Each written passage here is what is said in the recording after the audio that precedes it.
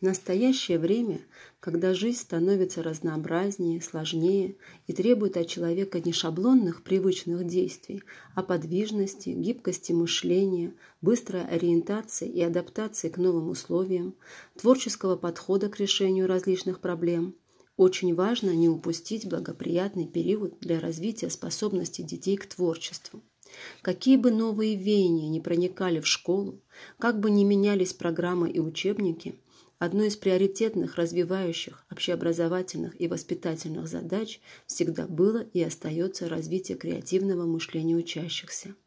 Творческий человек может успешно адаптироваться в социуме, противостоять негативным обстоятельствам, находить позитивные выходы из сложных ситуаций. Он способен к самореализации своих возможностей.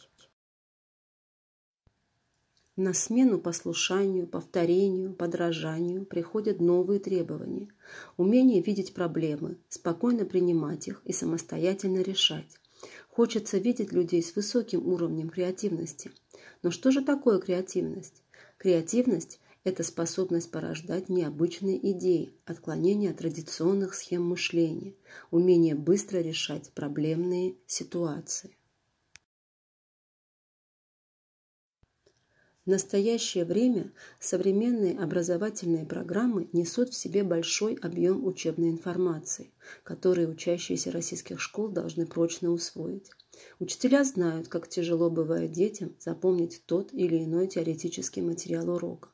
А если принять во внимание то, что ребенок должен усвоить материал не по одному предмету, а по нескольким, то это кажется просто невыполнимым. Поэтому перед учителем стоит важная задача – увлечь ребят своим предметом, научить их пользоваться полученными навыками, сделать так, чтобы ученики по собственной инициативе, а не по принуждению добывали новые знания, потому что это не только полезно, но и интересно. Ведь в наше время нужны люди, способные принимать нестандартные решения, умеющие творчески мыслить. Каждому педагогу, работающему в современной начальной школе, необходимо задуматься о том, как построить уроки и занятия по внеурочной деятельности, чтобы в результате у детей постоянно происходило развитие творческого мышления и творческой деятельности, причем такой системой методов и приемов, которая бы соответствовала младшему школьному возрасту. Главная цель моей работы с детьми – научить учащихся мыслить. Дети всегда должны находиться в поиске, каждый раз открывая для себя что-то новое. В творческой обстановке всегда рождаются новые идеи, замыслы, возникает атмосфера сотрудничества, которая в свою очередь рождает вкус к творчеству. Одним из методов развития креативного мышления у младших школьников является метод ассоциаций, поскольку непроизвольная память у младших школьников развита намного лучше произвольной, Ассоциация как раз и является непроизвольной психической активностью. Суть метода в том, что между двумя словами или объектами устанавливается связь. Как же создавать ассоциации? Если связи между объектами нет, то ее необходимо придумать. Связь может быть любой – сказочной, фантастической, абсурдной, смешной. Чем более необычна связь, тем лучше запоминаются эти объекты. Благодаря тому, что ассоциации у каждого человека могут быть сугубо индивидуальными, дети не боятся ошибиться и чувствуют себя свободно, проявляют значительную активность на уроке. Соответственно, повышается интерес к учебному процессу и усиливается мотивация в обучении. Ассоциативный метод может применяться на разных этапах урока.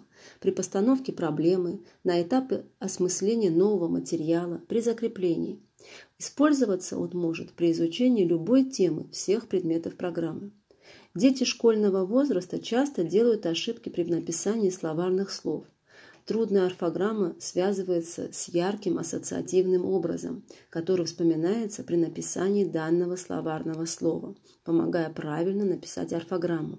На уроках русского языка, литературного чтения можно использовать тематические ассоциативные цепочки. Например, дети выстраивают цепочку ассоциаций на тему «зима».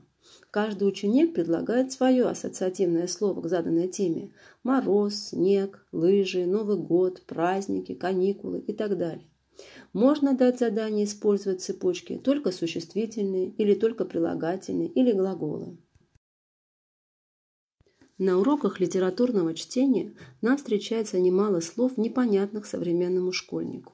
Это устаревшие слова, такие как инда, ланиты, сочельник, молодица, ломлива, палати и другие. Одно из занятий по внеурочной деятельности мы с ребятами посвятили знакомству с устаревшими словами. Посмотрев сценку «Барыня и крестьянка», дети попробовали дать объяснение непонятным словам.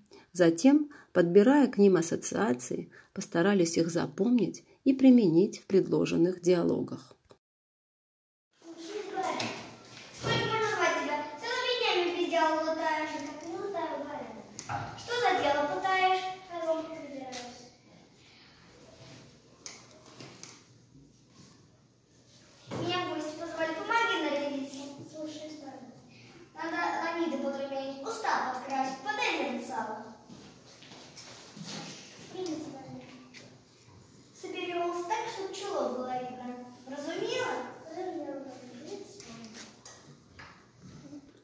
При применении ассоциативного метода развивается эмоционально-образное мышление, повышается интерес к обучению, учащиеся находятся в постоянном поиске, творческий процесс приносит радостные эмоции и удовольствие от работы.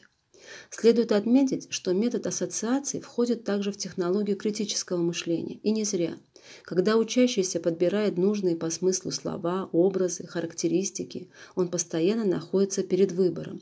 В этом случае можно говорить о формировании у детей нестандартного мышления. Использование ассоциативного метода позволяет добиваться не только обучающей цели, но и развивающей.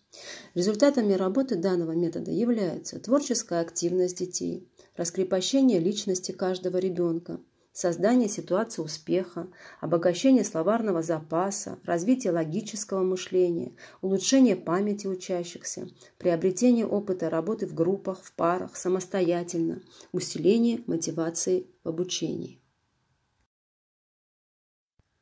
Важно отметить также, что метод свободных ассоциаций позволяет диагностировать творческий потенциал личности, выявлять образность мышления и кругозор – оригинальность фантазии, быстроту реакции, умение перевоплотиться, способность убеждать. Ассоциации непосредственным образом связаны со сферой эмоций человека. Они обладают свойством волновать, бередить душу, вызывать наплывы чувств. Особенно сильно этот процесс проявляется, если ассоциации несут в себе какой-то личностный смысл, связанный с чем-то значимым для человека. Ни один учитель не может точно сказать, как и каким именно должен появиться на свет тот или иной образ в работе ученика. Активное творческое воображение, ассоциативное мышление не может быть прямым следствием усвоения и повторения чего-то. Это самостоятельное создание новых, оригинальных образов. Таким образом, значение эмоций и чувств в учебной деятельности огромно. Если учащийся на уроке равнодушен, то и проблем в его учебе будет много. И он будет учиться хорошо – если на уроке он испытывает приятные чувства и эмоции. Ему интересно, не страшно, и он увлечен.